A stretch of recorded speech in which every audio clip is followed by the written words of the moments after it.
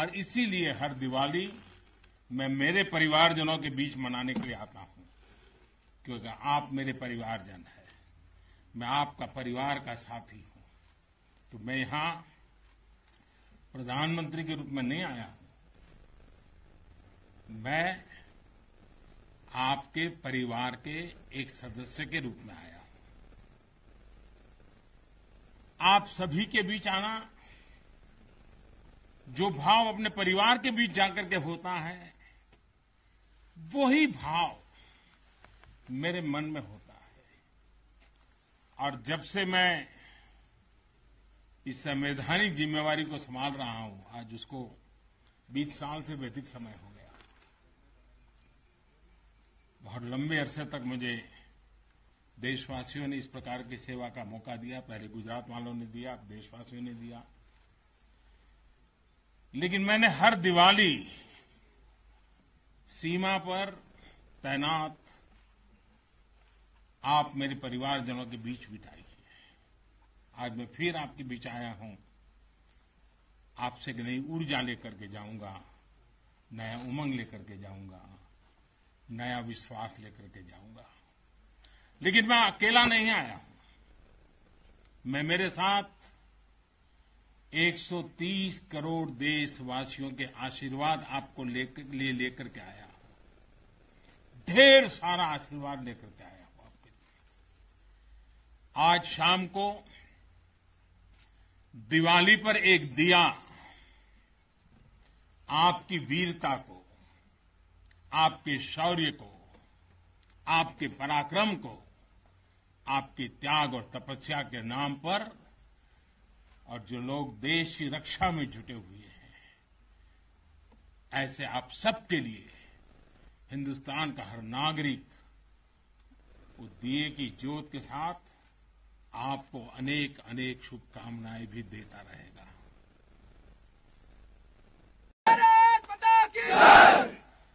Surgical strike में यहाँ की ब्रिगेड ने जो भूमिका निभाई वो हर देशवासी को गौरव से भर देता है।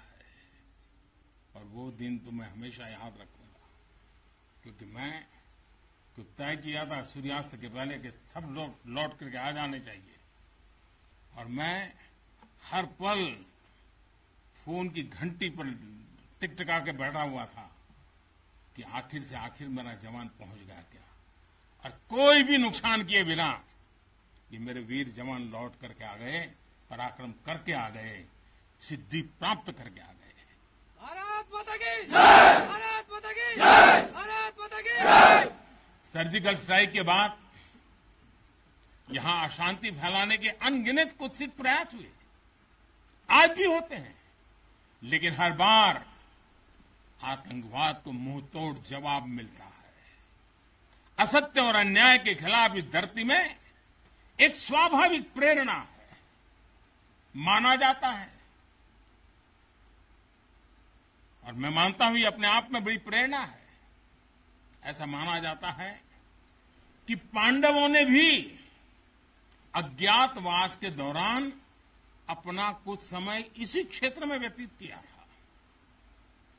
आज आप सबके बीच आकर मैं अपने आप को यहाँ की ऊर्जा से जुड़ा हुआ महसूस कर रहा साथियों, देश के रक्षा रक्षा खर्च के लिए जो बजट होता है, अब उसका करीब पैंसठ प्रतिशत देश के भीतर ही खरीदी पर खर्च हो रहा है।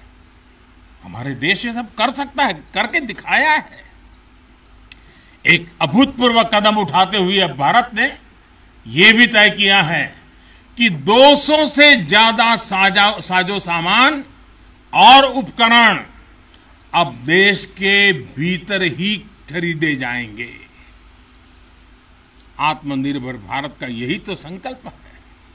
अगले कुछ महीनों में इसमें और सामान जुड़ने वाले हैं।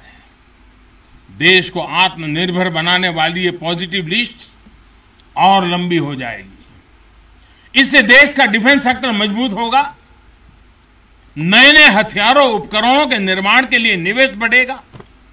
साथियों, आज हमारे देश के भीतर अर्जुन टैंक बन रहे हैं, तेजस जैसे अत्याधुनिक लाइट कॉम्पैक्ट एयरक्राफ्ट बन रहे हैं।